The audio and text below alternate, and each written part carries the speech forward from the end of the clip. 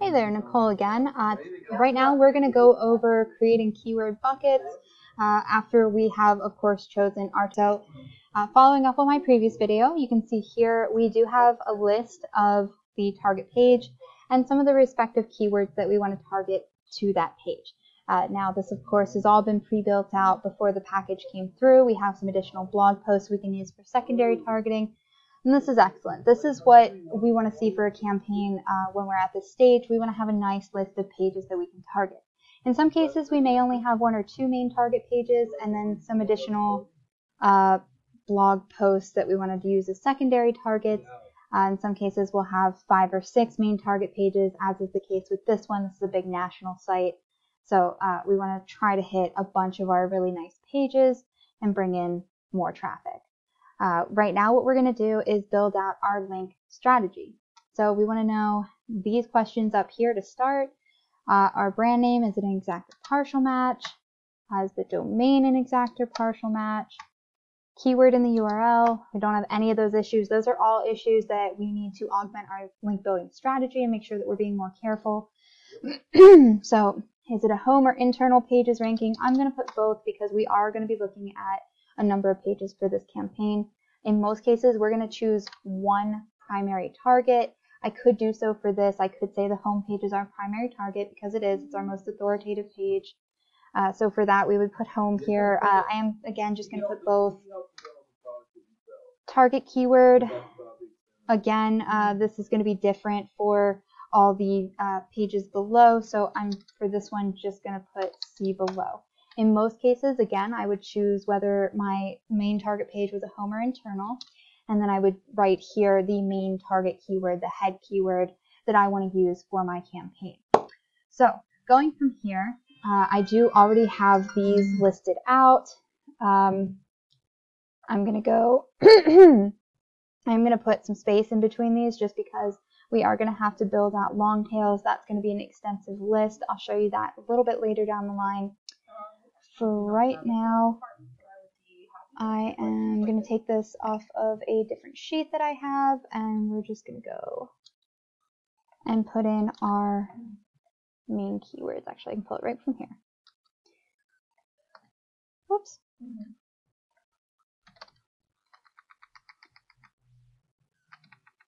We have this, uh, you can find this on our site. Alrighty.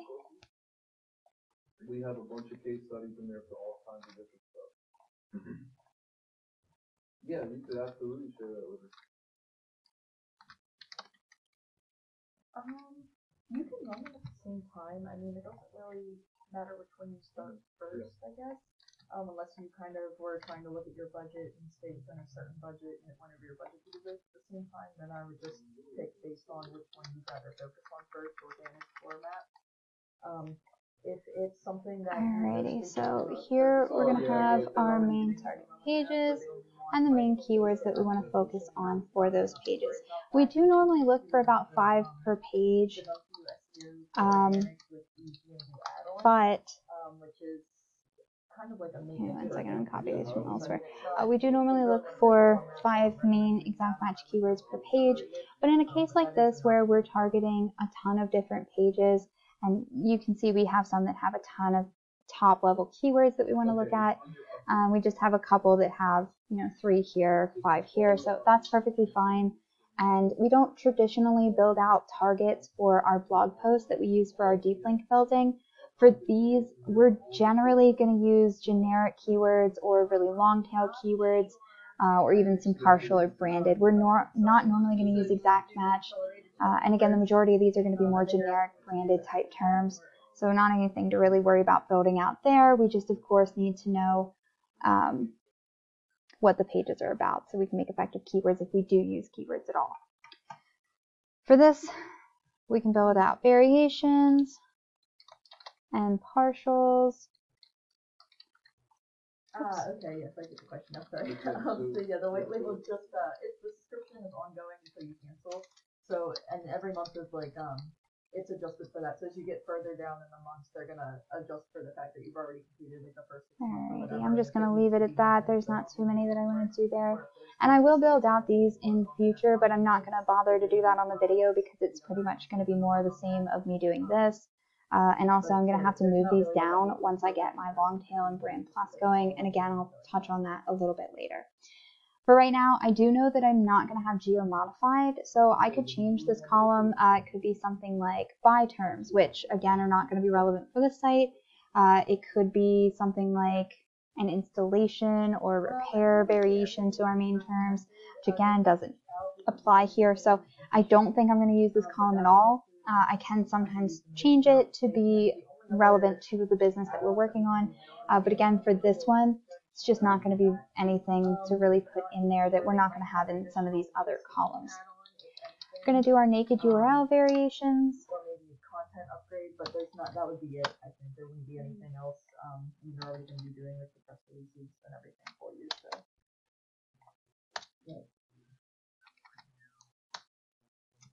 Alrighty, and while we're here, we can go ahead and start building out our brand variations.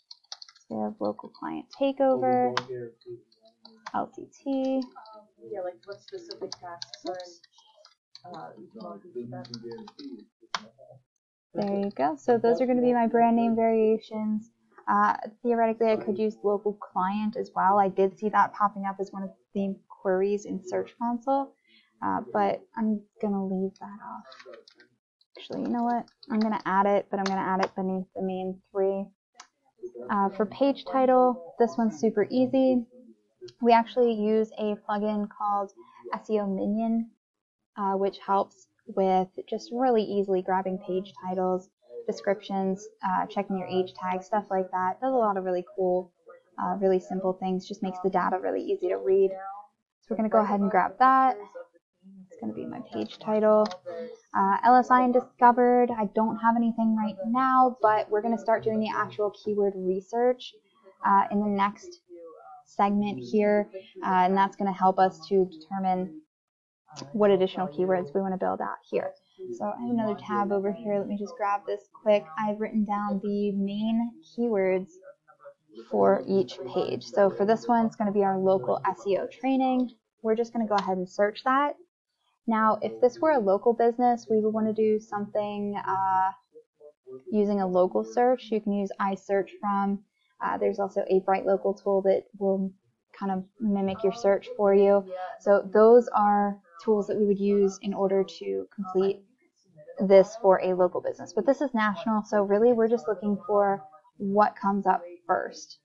And I'm just going to pull a couple of these and I'm going to see what these pages look like, what they are, and whether or not they're relevant to my own target page.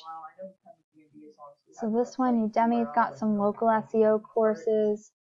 These are actually paid courses, so not exactly a comparison, but close enough. We're going to use that. We have local SEO here.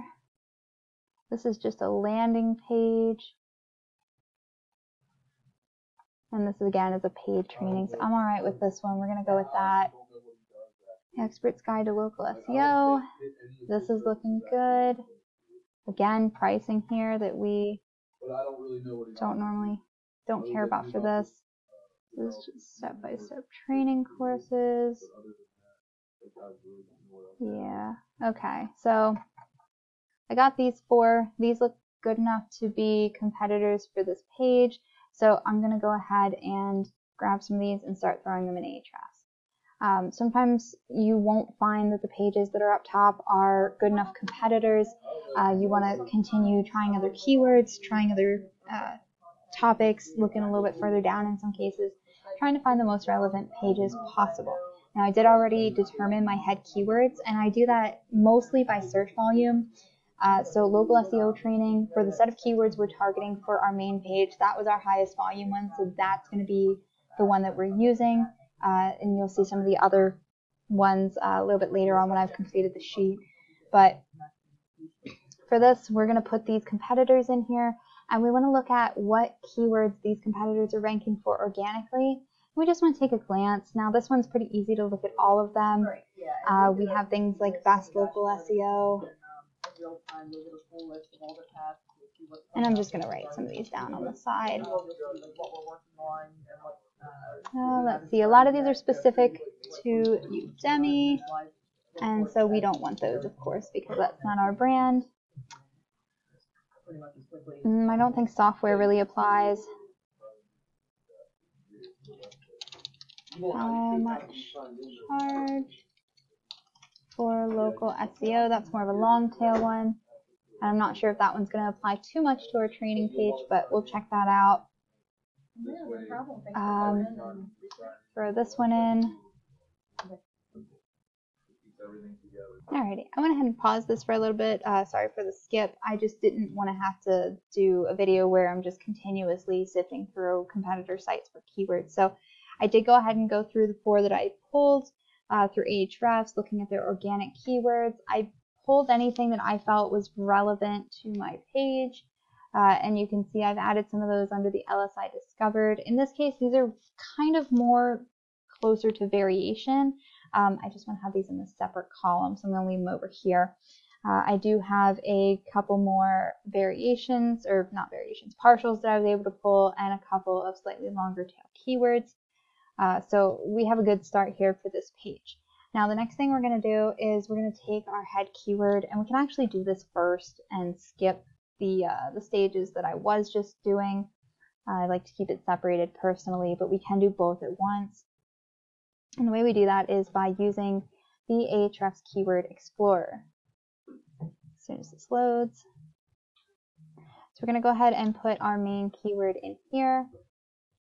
And that's going to tell us how difficult this keyword is. It's going to show us the respective search volume, CPC, such and such. Uh, make sure I have this on US.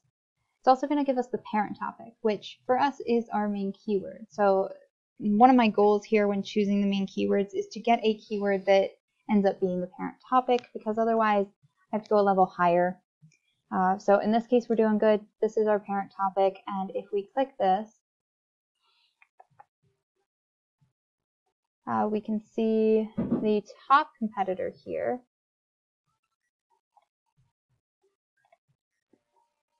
Here we go. Here are the top ranking pages uh, for this keyword, and it gives us a percentage of the keyword share that they have for this. So uh, that's another way we can pull our competitors. Uh, there is something else that we can do. I just can't quite remember where it is. There's another page that gives you the list of the competitors. Put down here. Yeah, alrighty. So here we are again, uh, and this is what I was looking for actually, where we can see not only the top pages ranking, but we can also see the uh, the UR, the URL rating, number of backlinks. Uh, we can see the keywords and the traffic, of course. So, and the search volume for the top keyword, which of course we should already know. Sorry. So we can grab our competitors right from here and uh, click through these and go directly to the organic keywords from there. But this is also going to give us some good ideas as to what keywords we need to be using for our own site. Uh, we can rule out anything branded, of course. I believe we do have this one. Just check. Let me add that here. There we are. Alrighty. So we can go through here and look at either all of them. Uh, we can sort by different settings. There's a good one. So I'm just going to write some of these down as I go. Because some of these could end up being good keywords that I want to use. Now you can see here only this first one really has any volume, but uh, write down a couple of these because some of these are relevant to my site.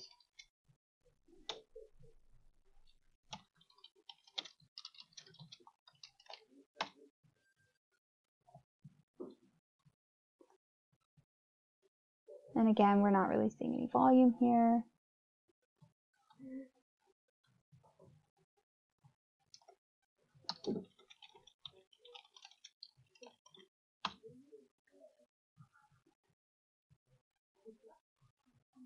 Okay.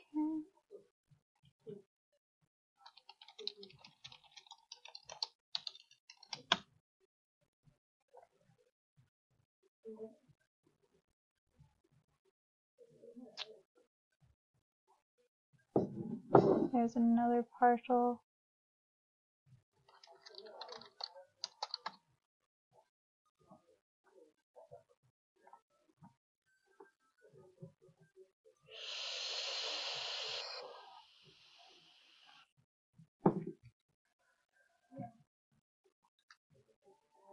No course, local courses.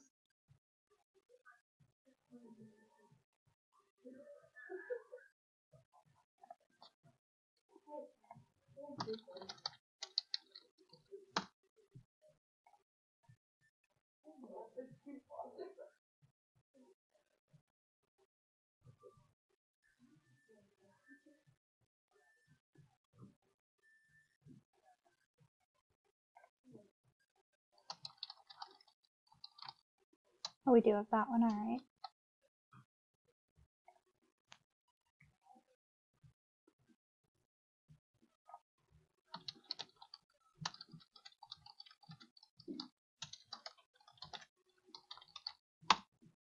Alrighty. I think we have enough terms here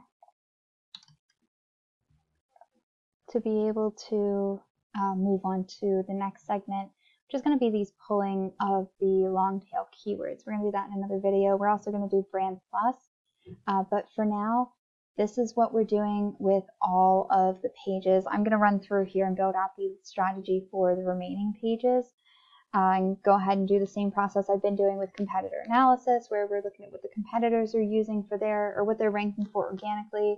Um, we're also looking at what Ahrefs recommends based on all of the pages, uh, or all of the sites, I should say, I believe on page one. So stay tuned for the next segment of the video where we're going to go over these L, or not LSI, these long tail keywords and the brand plus keywords, how we generate those, and uh, what those look like.